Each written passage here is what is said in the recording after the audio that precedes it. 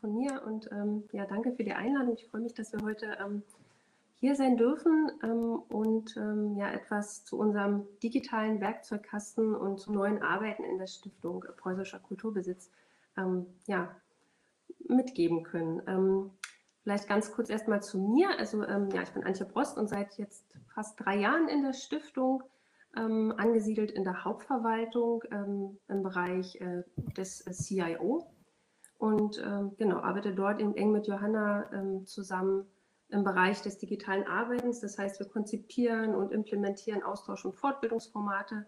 Wir beraten die Kolleginnen und Kollegen zu digitalen Tools und Methoden. Und wir selbst probieren eben auch ähm, ja, neue Methoden aus und versuchen die dann auch in, dieses, in das Kollegium ähm, zu vermitteln. Genau, Johanna, dann würde ich gleich an dir, an dich das Wort übergeben, wenn du genau. so bist. Übernehme ich gerne an der Stelle ähm, Johanna Willner. Ähm, genau, Antje hat ja unseren Bereich schon vorgestellt und deswegen werde ich da jetzt auch gar nicht mehr viele Worte verlieren, sondern einfach direkt in die Präsentation einsteigen. Ähm, wir haben hier diesen schönen Titel gewählt, Welcome New Work. Wie verändern wir den Raum für digitale Zusammenarbeit? Ähm, wir sind Mitarbeitende der Stiftung Preußischer Kulturbesitz und noch sehr weit von dem entfernt, was andere unter New Work verstehen würden. Ähm, Trotzdem versuchen wir da etwas näher ranzukommen und das tun wir bei uns in diesem Fall über die digitalen Tools. Ähm, genau, die, diese Ansicht mit den Werkzeugen hatte Ralf ja vorhin schon vorgestellt mit unserem Werkzeugkasten. Darauf wollen wir jetzt ein bisschen näher eingehen und uns da ähm, einmal kurz vorstellen, warum sind wir dieses ganze Thema Werkzeugkasten eigentlich angegangen? Wie stellen wir uns das überhaupt vor? Was ist dieser Werkzeugkasten, von dem wir die ganze Zeit reden, denn eigentlich?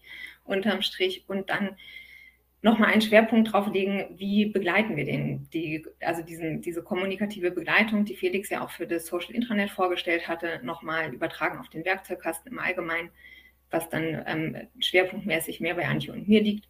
Das werden wir auch nochmal vorstellen. So, genau, jetzt genau die Frage, warum gestalten wir die digitale Zusammenarbeit in der SPK denn überhaupt neu? Ähm, dafür gibt es verschiedenste Rahmenbedingungen und Gründe.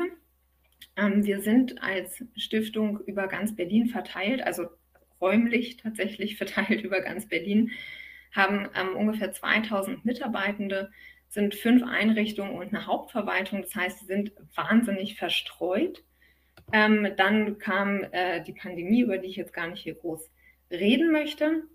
Aber die hat es ähm, in der Stiftung sehr stark beschleunigt, dass wir jetzt eine ähm, einerseits eine Ein-Geräte-Strategie haben, die einfach sagt, wir versuchen nicht mehr zwölf Geräte zu haben, sondern wirklich ein Gerät pro Person und das, dieses Gerät ist in der Regel ein äh, Laptop.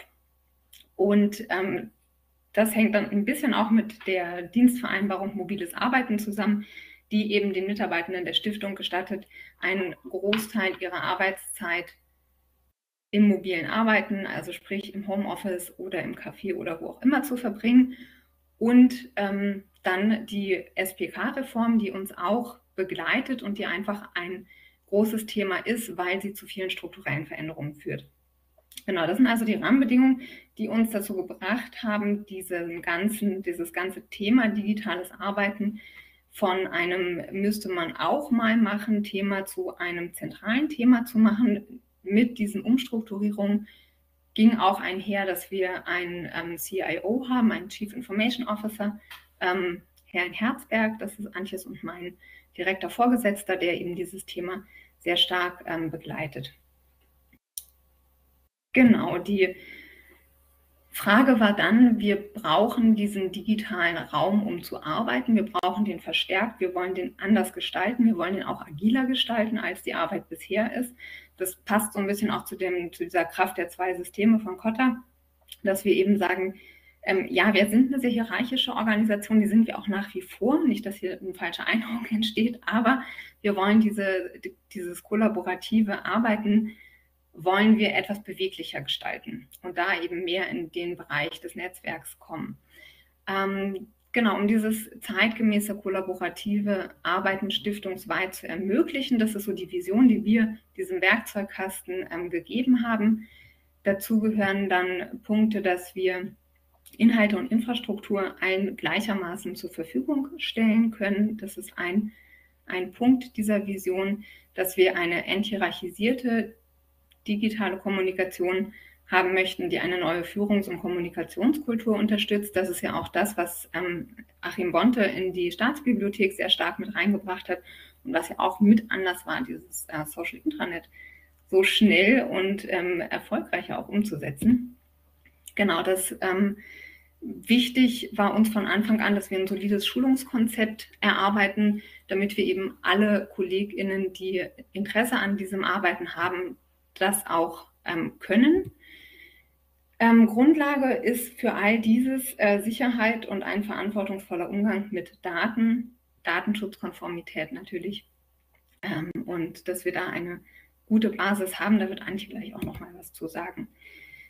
Genau, was so ein bisschen offen noch ist, ist, dass wir in der SPK natürlich vernünftig kollaborativ zusammenarbeiten wollen, aber mit externen natürlich auch. Der Punkt ist noch offen, den hatte Ralf auch schon vorgestellt bei dem Ausblick, ähm, dass ist in Arbeit. Genau, und wie dieses niedrigschwellige, nutzerinnenfreundliche, anschlussfähige, große Konzept des Werkzeugkastens dann äh, aussieht, wird ähm, Antje jetzt einmal vorstellen. Genau, also mit dem digitalen Werkzeugkasten, der Name ist ja jetzt oft gefallen, äh, versuchen wir eben der Vision Gestalt zu geben. Ähm, ja, wie ist der eigentlich entstanden? Also in, es hat sich eine sogenannte AG-Tool-Strategie formiert, das waren ähm, oder sind auch immer noch Stakeholder aus allen Einrichtungen der Stiftung. Somit hatten wir da eben verschiedene Expertisen und ähm, Perspektiven direkt ähm, von Anfang an an Bord. genau, das Ziel der gemeinsam erarbeiteten Toolstrategie in dieser AG ist es eben ein oder war es eine stiftungsweit einheitliche Basis der zu nutzenden digitalen Kollaborationstools ähm, zu schaffen. Und ähm, die Ausgangslage ähm, ja, als Ausgangslage haben wir natürlich erstmal den Iststand erfasst. Was haben wir da eigentlich? Ähm, es wurde sehr schnell klar, dass die Staatsbibliothek dort am besten aufgestellt ist. Denn Ralf hat am Anfang ja auch den Werkzeugkasten ähm, der Stabi gezeigt. Den haben wir sozusagen als Ausgangslage ähm, für den Werkzeugkasten genutzt, haben den auch bereinigt, priorisiert und genau dann uns dort entschieden, ja, welche Tools ähm, wollen wir jetzt im Betrieb und im Rollout denn als erstes ausrollen? Ähm, besonders ja auch, wir haben auch nur begrenzte Ressourcen ähm, und müssen die eben äh, gut einteilen. Und ähm, ja, da entstand es eben dann auch sehr schnell, dass sich die Toolpalette dann auch stark verdichtet hat, ähm, sodass wir eben im Grunde für jede wichtige Funktion, ähm, die es eben benötigt für eine digitale Zusammenarbeit, dann eben auch ein Tool anbieten konnten. Die Beschleuniger, das ist eben auch schon gefallen, ähm, die eben ähm, ja, zum Ausbau oder ja, Vorantreiben dieses äh, Werkzeugkastens ähm, beigetragen haben, waren zum einen ja die Pandemie und dann eben auch noch, ähm, ja, dass wir eben den CIO seit zwei Jahren haben, der sich die ähm, IT-Konsolidierung und ähm, das kollaborative Arbeiten eben auch auf seine Agenda geschrieben hat sodass es eben externe und interne Faktoren ähm, gab und auch immer weiter geben wird, die eben auch auf diesen digitalen Werkzeugkasten Einfluss nehmen. Ähm, genau, die Toolstrategie der Werkzeugkasten ist natürlich jetzt auch nicht äh, fertig. Das kam jetzt ja auch schon mehrfach zur Sprache, dass es je nach ähm, technischen Weiterentwicklungen und auch Bedarfen ähm, aus dem Kollegium immer weiter angepasst wird und eben auch langfristig weitergedacht wird. Ja, und im, äh, ja, im Kern ist der Werkzeugkasten einfach nur eine simple Tabelle. Das äh, sieht man einmal hier, wie wir den eben ähm, ja, aufgestellt haben. Der wurde eben in dieser Form allen Mitarbeitenden äh, zentral über das Intranet zur Verfügung gestellt. Es wurden auch ähm, Informationsveranstaltungen angeboten, um ähm, ja, das ähm, vorzustellen. Und ähm, genau, er bietet eben damit einen Überblick über alle bereits vorhandenen oder auch ähm, perspektivisch zur Verfügung stehenden Tools samt ähm, aller relevanten Informationen, die eben für die Mitarbeitenden ähm, wichtig sind. Das heißt, ähm, ist das Tool verfügbar? Ähm, wie ähm, erfolgt denn der Zugang? Äh, wo erhalte ich Support oder bekomme ich äh, Schulungsmaterialien? Also wir haben halt hier eben an dieser Ansicht das Set an Standard-Tools, die wir hier definiert haben. Das sind also sozusagen die Must-Haves, die wir brauchen, um digital zusammenarbeiten zu können. Es gibt aber auch noch eine Palette an optionalen Tools, die dann je nach ähm, ja, Bedürfnissen im Team oder in der Einrichtung dann auch noch ähm, genutzt werden können. Kannst du gleich noch weitergehen, Johanna? Zumindest bei mir sieht man das noch nicht. Genau, und es ist jetzt auch schon ähm, mehrfach gefallen, dass wir ja da auch ähm, verschiedene Kriterien, ähm, ja, dass uns da verschiedene Kriterien wichtig sind, die bei der Auswahl der Tools eine Rolle spielen. Zum einen, ähm, ja, dass es eben Open Source äh, Tools sind, ähm, größtenteils, weil wir natürlich da von den zahlreichen Vorteilen freier Software profitieren, Kostenersparnis, offene Schnittstellen, ähm, Unabhängigkeit von kommerziellen Anbietern, ähm, das hat, wurde ja auch gerade schon ganz gut deutlich, oder eben auch die Anpassung der Software. Genau, dann für uns als bundesunmittelbare Stiftung, das wir jetzt auch schon ein paar Mal, ist es eben besonders wichtig, dass wir, ja, dass wir eben die Anforderungen an Datensicherheit äh, und Datenschutz ähm, umsetzen. Das heißt eben auch, dass nach Möglichkeit die Tools größtenteils bei uns selbst gehostet werden und äh, nicht auf, in kommerziellen Clouds liegen. Und ähm, ja, letztlich ist es dann natürlich auch die technische Bedienbarkeit und ähm, der Funktionsumfang, Skalierbarkeit und so weiter, die da auch noch eine Rolle spielen bei der Auswahl der Tools. Und ja, das haben wir alles einmal durch, durch, äh, ja, durchexerziert sozusagen und sind dann bei einem Toolset für die gesamte Stiftung gelandet, die wir eben allen unseren Mitarbeitenden anbieten können. Ähm, das sind dann Tools für die Zusammenarbeit. Einige davon sind jetzt auch schon gefallen. Also für Chat- und Videokonferenzen nutzen wir WebEx. Ähm, für ja, sozusagen den ähm, digitalen Notizzettel, den kollaborativen, ähm, das Etherpad von Headstock. Mit der E-Akte erfüllen wir sozusagen ja, unsere, erfüllen wir unsere Verantwortung, dass wir eben dokumentenbasierte Workflows und Veraktungen äh, vornehmen können. Und ähm, genau zum Social Intranet ähm, wurde ja eben auch schon viel gesagt. Und jetzt in der Testphase befindet sich das Online-Office, das wir auf der Nextcloud ähm, realisieren, genau das ähm, dann eben ein kollaboratives Zusammenarbeiten mit Dokumenten möglich macht. Dann haben wir eben die Tools für, die, für das Bereitstellen von Informationen und Daten. Also das ist ein temporäres File-Sharing über die Nextcloud. Das sind ähm, Wiki-Tools und das Social Intranet. Und letztlich auch, das fehlt auch schon eben zum, ähm, für visuelles Projektmanagement, ähm, das Kanban-Board mit oder Kanboard, mit dem man eben digitale Kanban-Boards erstellen kann.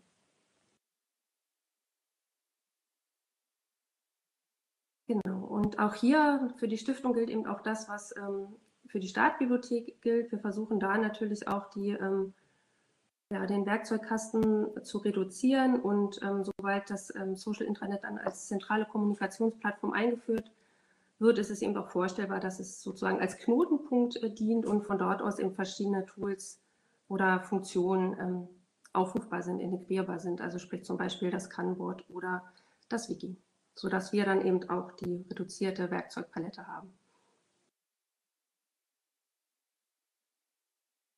Ähm, ja, auch wenn wir jetzt unseren Mitarbeitenden schon so einen umfangreichen ähm, Kasten an die Hand geben können, gibt es dennoch Desiderate. Also das fiel jetzt ja auch schon mehrfach, dass wir eben dadurch, dass wir ähm, es im internen Netz anbieten, mit externen nicht zusammenarbeiten können. Dass ähm, ja gerade für kreative Zusammenarbeit, sprich Brainstorming, Design Thinking und so weiter, ähm, da auch ein digitales Whiteboard wünschenswert wäre und dass eben auch die Tools noch besser miteinander verknüpft sein könnten. Also größtenteils funktioniert es äh, noch über Verlinkungen. Ähm, aber ich denke auch, dass das für die Akzeptanz bei den Mitarbeitenden ähm, ein großer Gewinn eben sein kann, wenn die Tools eben noch stärker miteinander sprechen. Ähm, das wird ja auch schon angedacht, dass man Nextcloud ähm, Only Office Dokumente dann eben auch im Social Intranet integriert. Also an den ähm, Wünschen und Bedürfnissen sind wir auf jeden Fall auch dran und die spielen auch bei der Weiterentwicklung der Toolstrategie eine große Rolle. Genau. Silvia, ich hoffe, du willst nicht jetzt schon drängen mit der Zeit. Musst dich ganz schnell reden.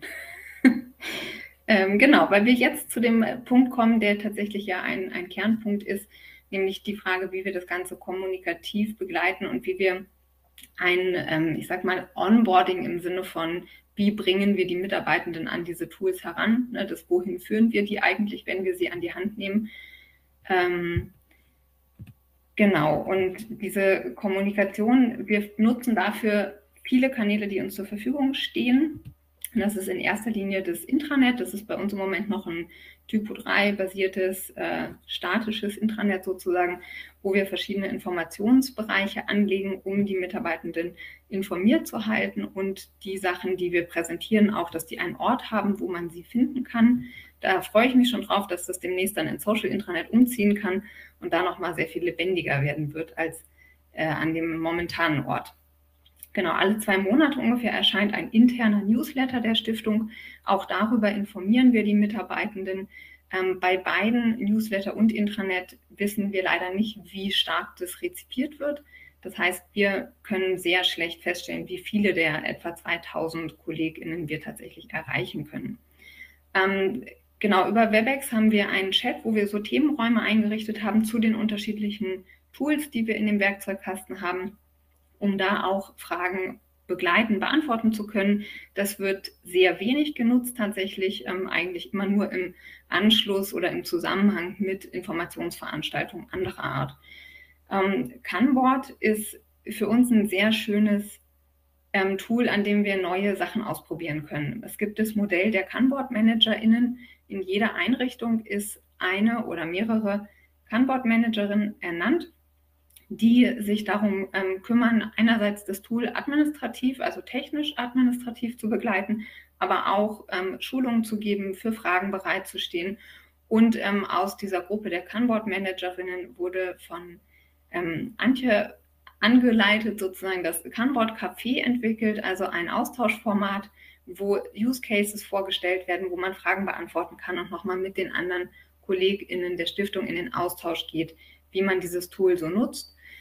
Ähm, außerdem gibt es ähm, im Intranet auch einen Bereich zu dem ähm, Kanboard, der sehr ausführlich ist, wo einmal die Methode, die dazugehörende erläutert wird, das Tool selber und jetzt auch gerade im Aufbau befindlich so kleine Kanboard-Tutorials, kurze Filme, wo das Tool nochmal in seinen Funktionen erklärt wird. Ähm, davon ähm, abgesehen gibt es das Peer Learning ähm, ein Peer-Learning-Format in der Stiftung, wo von Mitarbeitern für Mitarbeiter ähm, kurze Inputs gegeben werden. Das ist zu allen möglichen Themen. Wir nutzen dieses Format natürlich auch für die Tools, um diese in so Kurzschulungen nochmal vorzustellen. Also wie funktioniert der Chat in WebEx oder eben das Kanboard oder Kanban auch nochmal vorzustellen als Methode dahinter oder ähm, andere Methoden, die ähm, mit den Tools im Zusammenhang stehen oder stehen können und da genutzt werden. Ähm, genau, das, dieses Format wird sehr, sehr gut angenommen. Also wir haben ähm, in Veranstaltungen häufig etwa ein Zehntel der Mitarbeitenden, die daran teilnehmen, was für die Stiftung und auch für das Thema sicherlich schon ein sehr guter Anfang ist. Aber ähm, genau, das ist eben erstmal so ein, so ein punktueller Ansatz. Ähm, für die KollegInnen bei uns, die sich das lieber nochmal in Ruhe durchlesen möchten oder sich das auch ähm, tatsächlich nochmal als PDF auf, auf den Desktop legen, legen möchten, gibt es einen Leitfaden für digitale Zusammenarbeit in der SPK. Da wird der Werkzeugkasten vorgestellt, die Tools. Da sind aber eben auch so, so Leitfäden und Anregungen mit drin, wie das, was Ralf vorhin gezeigt hatte, diese Entscheidungsbäume, welches Tool nutze ich eigentlich wann oder in welcher Konstellation, wie komme ich dazu, Absprachen im Team, wie kann das aussehen. Das wird in diesem Leitfaden auch alles nochmal aufgegriffen, aber doch relativ kompakt da zusammengefasst. Ähm, dann haben wir auf Anfrage machen wir auch so Workshops, die tatsächlich sehr tief dann einsteigen, ähm, wenn wir angesprochen werden von Projektgruppen beispielsweise ähm, wir haben die und die Herausforderung, mit welchen digitalen Tools können wir denn dem begegnen.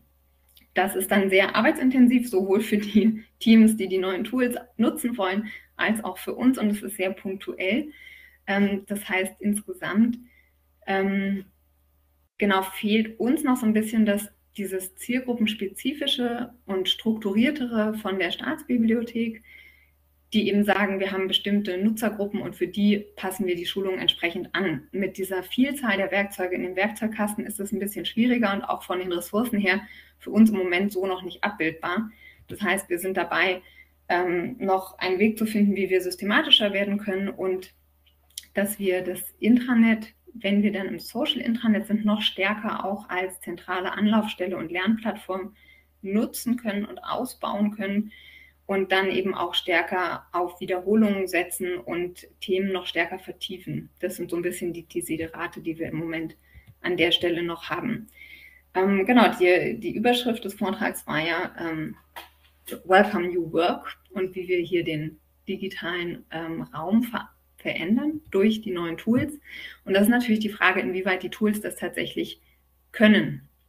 Ähm, bei dem Kanboard ist es ganz schön eigentlich zu sehen, weil da habe ich ein Tool, was, wenn ich es mit der dahinterliegenden Methode Kanban anwende, tatsächlich meine Art des, der Zusammenarbeit sehr stark verändern kann, wenn ich das denn möchte.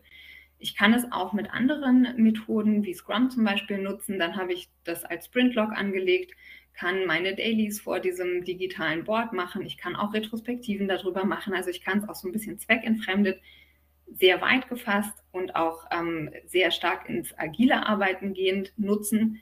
Ich bleibe trotzdem Teil einer hierarchischen Organisation. Das heißt, es ist nur begrenzt der Weg in die agile Zusammenarbeit.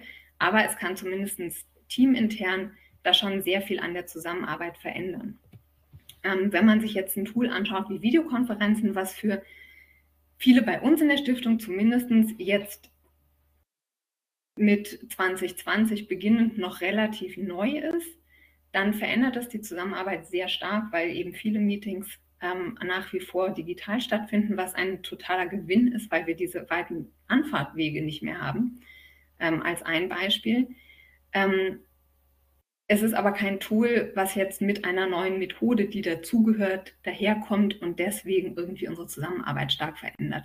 Ich kann es aber natürlich als Anlass nehmen und sagen, ausgehend von unseren sowieso veränderten Meetings, lasst uns doch mal grundsätzlich darüber sprechen, wann wir Meetings wie machen wollen. Ähm, dafür ist es eben wichtig, dass man sich im Team dazu verständigt, wie wollen wir eigentlich künftig zusammenarbeiten. Und das ist auch was, was mit dem Social Intranet ganz stark passiert. Also diese ganze Frage der veränderten Kommunikation, der veränderten Art und Weise, wie wir miteinander arbeiten, wie wir miteinander reden, aber auch und wie wir das ähm, organisieren. Genau, das ist auch schon äh, die letzte Folie, ähm, die einfach nochmal zeigen soll, oder genau, dass wir eben auch im Rahmen der Toolstrategie und des Werkzeugkastens ähm, versuchen, eben diese neuen Arbeitsmethoden auch zu integrieren. Das heißt, ähm, versuchen Feedback einzusammeln, was auch mal mehr, mal weniger gut gelingt, dass wir auch schauen, ja, auf unsere eigene Arbeit schauen, wie laufen die Prozesse, die Modelle, die wir uns so überlegt haben und ähm, die eben evaluieren und bewerten, ähm, Angebote anpassen. Ähm, das fiel jetzt ja auch schon mehrfach, ähm, den Werkzeugkasten halt nicht statisch äh, betrachten, sondern auch ein bisschen als, ähm, ja, also es läuft einfach je nach Bedarf und technischen Innovationen weiter. Wir versuchen selber eben viel zu nutzen, damit wir auch viel vermitteln können ähm, sind da auch mit ähm, Stakeholdern in allen Einrichtungen im Austausch, versuchen eben äh, darüber das Feedback ähm, ja, zu sammeln, Netzwerke zu etablieren, um das Arbeiten mit diesen Tools eben ähm, stärker voranzutreiben. Genau, und ähm, ja, das war jetzt so ein kleiner Einblick. Also die Stiftung wird äh, kein Start-up, will es äh, viele wollen es, würden es auch nicht werden wollen, aber wir würden, ähm, möchten natürlich schrittweise nach und nach, das hat das heute vielleicht auch gezeigt, ähm, neue Methoden und Tools einführen, um die Arbeitsweise eben ja, kollaborativer, transparenter und flexibler zu gestalten.